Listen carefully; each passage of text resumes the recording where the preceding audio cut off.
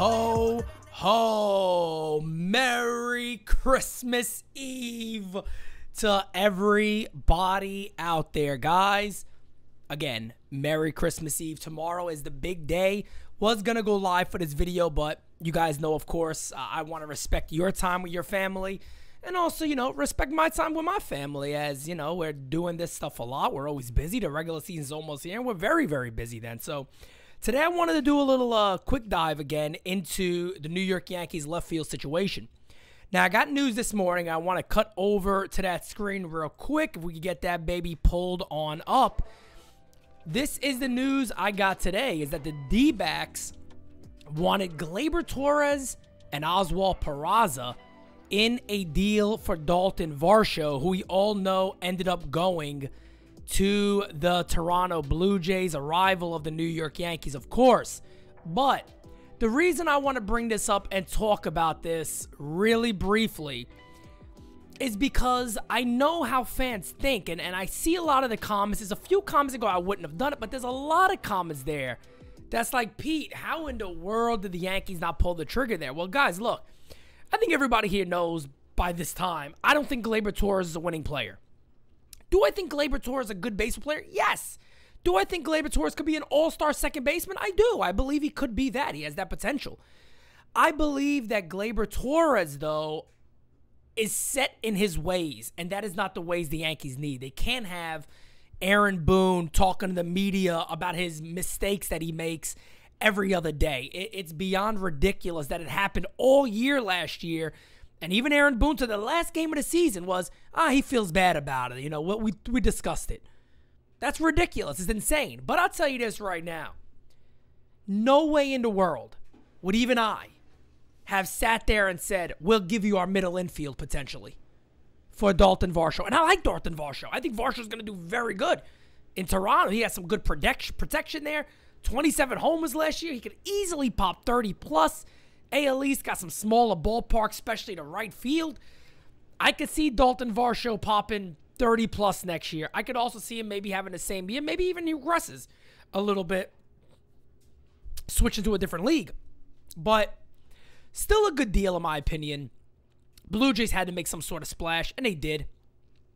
But on the side of the New York Yankees, that's a deal that I don't necessarily make. Uh, now, if it's one of those guys and a few other prospects, I would consider it, but I don't make this type of deal. So today I want to look at four names, two of those names kind of being new. I don't know how likely it is, but the Yankees have traded with this club before, so maybe it is. But there's two guys out there that that with every passing day, it kind of feels like maybe these are the guys. And no, Bryan Reynolds is not on this list. I'll be honest with you. I've been hearing that they're making minimal minimal progress. That was uh, yesterday. I haven't heard anything since then. And I'll be honest, after the Varsho trade, woo, I mean, I, I don't. Uh, can the Yankees make a deal for? Of course, but the Yankees got to be willing to part with quite a bit. It, it's got to be a deal that's gonna, no doubt about it, hurt. And I don't know if Brian Cashman is going to do one of those. I think Cashman's willing to trade maybe one guy, but I think when it gets to those two or three, he gets very, very much cold feet. So let me bring up the first guy, and I want to bring him up first here. Let me bring him up like this first, and then we'll actually look at some of the numbers uh, regarding him. But the first guys everybody knows, it is Max Kepler. Trust me, I get it. I know everybody is not a huge fan of Max Kepler. I do hear some bad comparisons, though. The Joey Gallo comparison's a tough one for me when it comes to Max Kepler. The main reason why it is a tough one for me when it comes to Max Kepler is Kepler doesn't strike out anywhere near the levels of a Joey Gallo does. Good Gallo or bad Gallo. He struck out under 15% of his at bats last year. The year prior, under 20%. The year prior to that, under 19%. Year prior to that, under 17%.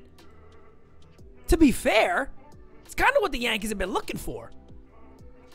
Ground ball rate was also very high last year with the shift again, it probably took away a lot of his hits. Am I making excuses to say Kepler's the guy? I don't think he is. He's good defensively. He's a lefty. The shift is probably going to make a difference for a guy like Kepler. He also doesn't strike out, and he got speed. So I do want to just simply say for a lot of the people who bring up the, well, he's Joey Gallo and he's this and he's that, that's a bad comparison. That That is definitely not a fair comparison for Kepler coming to the Yankees. Do you think he's a major upgrade over an Oswaldo Cabrera? I don't know, but we haven't also seen enough of Cabrera. Do I think that Kepler could come to the Yankees and do well? I actually do. The more I'm looking at it, the more I believe he could. Is it my go to choice? Of course, it is not my go to choice. So that is again Max Kepler. And what is it going to cost the Yankees, guys? Not as much. Not as much as a Varsho. Probably not as much as the next guy I'm talking about either. And, and definitely definitely wouldn't cost as much as the other two guys that I'm going to bring up a little later. But the next guy I want to discuss is probably my favorite guy at this point, to be quite honest with you, and that is Jake McCarthy. I've been talking to you guys a whole ton about Jake McCarthy. Now, Baseball Savant is not a huge fan of Jake McCarthy, but I am. So I actually value that a little more, to be honest with you. And let's also be real here just because those certain numbers look cute on a little board doesn't make you the ball player that you want to be. Jake McCarthy, of course, lefty outfielder, good glove, had a very strong year last year for the D backs 2.4 war, 321 at bats, 8 homers, 283 average, 342 on base percentage, also 23 stolen bags. The guy could friggin' run. And I tell you what, he has a swing and a build for Yankee Stadium all day, er day. You guys already know the dealio. Again, if they were asking in a deal for Dalton Varsho from the New York Yankees, Oswald Peraza, and then also uh, Gleyber Torres in that type of deal, let me just tell you guys this right now. You can start with one of those guys, and I think the Yankees could put a serious package together. If the Yankees sat back and said, hey, look, we can look at a Gleyber Torres and a Will Warren, a Gleyber Torres and a um, Luis Gil, Clarke Schmidt and Gleyber Torres for Jake McCarthy.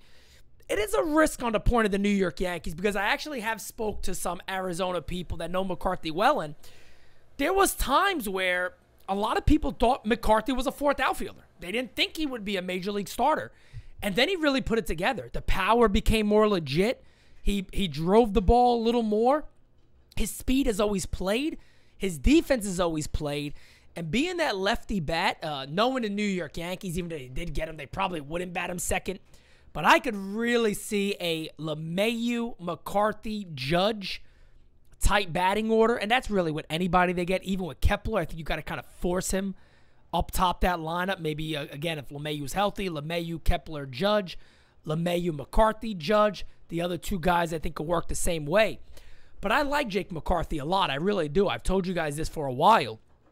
I don't know how willing, now that they got Lourdes Gurriel, do the Diamondbacks consider going more with McCarthy in the outfield, uh, um, Alek Thomas in the outfield? What is that outfield eventually going to then look like for the Diamondbacks? That is going to be totally up to them and how they figure it. But if McCarthy's still available and they were asking for those two guys for Dalton Varsho, who I think everybody believed was the better player, uh, hitting wise, no doubt about it, and he's a little more versatile. I do think you can start a deal with Peraza or with Gleyber Torres, maybe with a Clarke Schmidt, and make a deal work out there for McCarthy, who I'm a fan of. The other two guys I don't have highlights pulled up for, but they're two names that I know the Yankees have traded with this team before.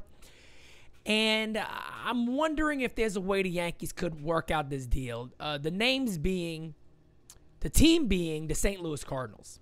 The names being Dylan Carlson and Lars Nootbaar. These are kind of out of there type things. I don't not not really like out of there. Like it, it's impossible to happen. I can actually see a trade happening. I think Gleyber Torres also works very very. Gleyber Torres and or IKF work very well, in my opinion, for the St. Louis Cardinals. They see Dylan Carlson. Only 24 years old, very young, wouldn't be a free agent to 2027. A two war last year, low lower batting average, 236, eight homers, five stolen bags, 316 on base percentage. So the numbers do not jump out at you, right? With Dylan Carlson, you're looking at me, go, ah, man, I don't know, Pete. Like, nah, is is this guy really the offensive threat? Is he an upgrade? He's a top prospect for a little while. Of course, in 2021 had a much better season, kind of regressed a little bit does strike out, good speed, switch hitter, very good defensive in the outfield. And of course, the other guy being maybe the best baseball name in baseball. Would love to say this all year. Lars Nootbaar. You know we'd have to create a Nootbaar t-shirt because he has to have a Nootbaar sold at Yankee Stadium. I have to have nougat in it, I think, and a few other things. I don't know. Maybe nougat and walnut. Maybe nougat, almond, and uh, white chocolate. I don't friggin' know. What the hell do I know? Sounds like a maybe something already out there. But here is Lars Nootbaar. Again, wouldn't also be a free agent a little later, 2028. 2.2 WAR last year, 14 bombs, 228 average, uh, 40 RBIs, 53 runs scored, 340 on base percent. He's a guy again that does strike out a little bit, but he gets on base. And again, a lot of times that was a thing with Joey Gallo, and it's always an easy thing to bring up because fans understood it more if you strike out, you at least have to make sure you're getting on base. So you can't be a low on base percentage guy and high strikeout guy. If you're going to strike out 20 plus percent of the time, you got to get on base at least 33, 34 plus percent of the time.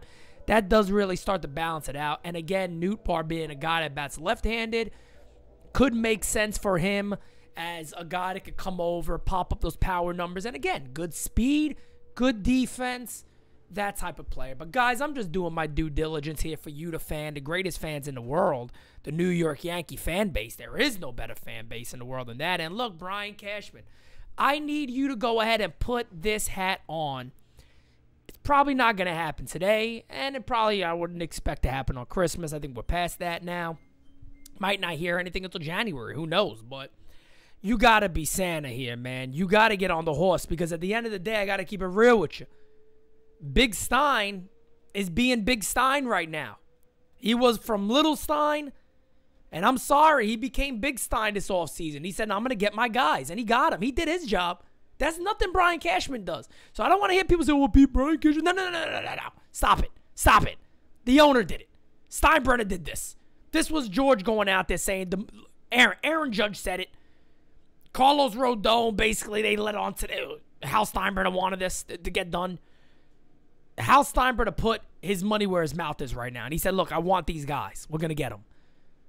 Brian Cashman's had three damn months to deal some salaries, make something, some sort of deal. He's done jack shit. He's been climbing buildings and sleeping in tents or whatever the frig it is that he does. Got to go out there and make a deal, folks. Got to go out there and make a deal.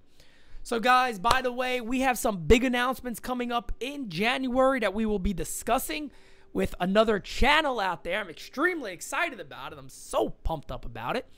And of course, you know, me and Bad Dog going to be having our video very very soon too. Once a month, State of the Yankees Union. Uh, we'll be we'll be doing that address and doing that one time a month this year. I'm excited about, of course, game season lives and all that fun stuff. We're reworking some things. Uh, reworking game season live template videos. Uh, designated spitters is getting a whole little revamp going on. So great things here at NYY News TV. And guys, I know I'll have a video for you guys tomorrow that just says Merry Christmas. Uh, but again, in the moment, I can't help but saying it. It is my favorite time of the year. Uh, I am also a very religious person, so it is a great, beautiful time for me and my family, especially a lot of what we've been through over the last two years or so. Um, but you guys are amazing. God bless every one of you. Happy holidays if you do not celebrate Christmas. And if you do celebrate Christmas, have a very, very Merry Christmas. And for you naughty ones out there, ho, ho, ho. On the next time, guys. Talk to you very, very soon. I'm out.